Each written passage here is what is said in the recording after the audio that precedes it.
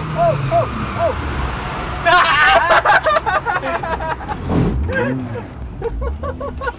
Loads of grip, Taylor. that was faster, oh. Though. still leading, still leading.